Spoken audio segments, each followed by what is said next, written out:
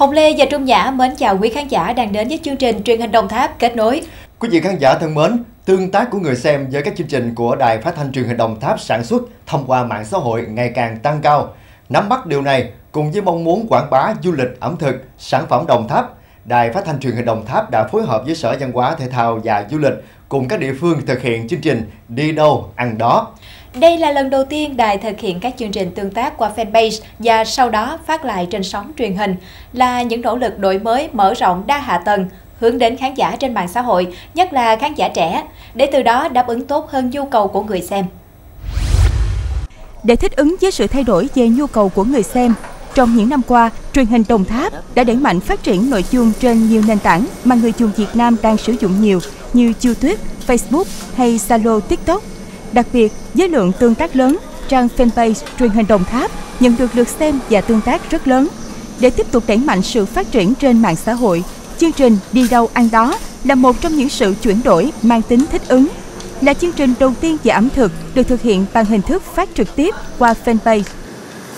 Khi mà thực hiện một cái chương trình trực tiếp thì chúng tôi hay nói đùa với nhau là làm một lần và không có làm lại.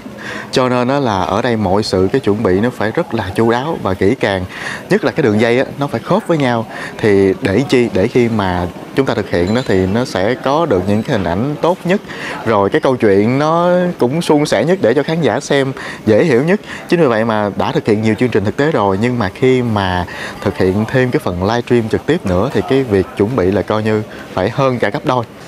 với mong muốn quảng bá rộng rãi về du lịch gắn với ẩm thực, văn hóa đặc trưng của các địa phương. Mỗi số phát sóng, chương trình sẽ đi sâu giới thiệu các món ăn ngon, các loại thức uống đặc trưng và điểm đến hấp dẫn tại nhiều địa phương khác nhau.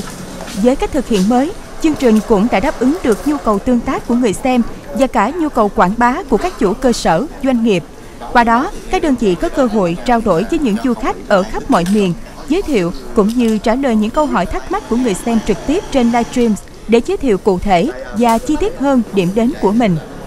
Mình livestream trên mạng xã hội thì ờ, gọi là cái nghiệp vụ và làm của mình thì nó không có được chỉnh chu ờ, qua cái được hỗ trợ từ đài truyền hình Đồng Tháp uh, hỗ trợ về cái chương trình livestream này thì uh, cái cái cách chương trình kịch bản của mình nó được nó là chuyên nghiệp và tạo điều kiện cho cái sự tương tác giữa cơ sở của tôi cũng như là du, du khách khi có đặt những cái mối quan tâm đến được tốt hơn, dễ dàng hơn. Giống như là khán giả thấy, mình khán giả có thể vô hỏi chương trình mình có thể mình trả lời cho khách ừ, hỏi ở đó cái dịch vụ nghỉ ngơi, ăn uống ra sao, ví dụ như là đặt ờ, phòng như thế nào, ví dụ như nghỉ, nghỉ rồi có thể được ăn uống ừ, tại đó hay không hay là kia thì khách hàng sẽ biết nhiều hơn. Chương trình đi đâu ăn đó với nhiều điều thú vị đang chờ đón quý khán giả khám phá được phát trực tiếp trên fanpage truyền hình Đồng Tháp vào lúc 11 giờ 20 phút trưa thứ sáu hàng tuần và sẽ được phát lại vào lúc 20 giờ tối thứ sáu cách tuần trên kênh truyền hình Đồng Tháp 1. Sự kết hợp đa hạ tầng hy vọng sẽ tiếp tục tạo ra dấu ấn của truyền hình Đồng Tháp trong lòng khán giả, cũng như góp phần giúp hoạt động quảng bá du lịch địa phương có thể tiếp cận được du khách ở khắp gần xa.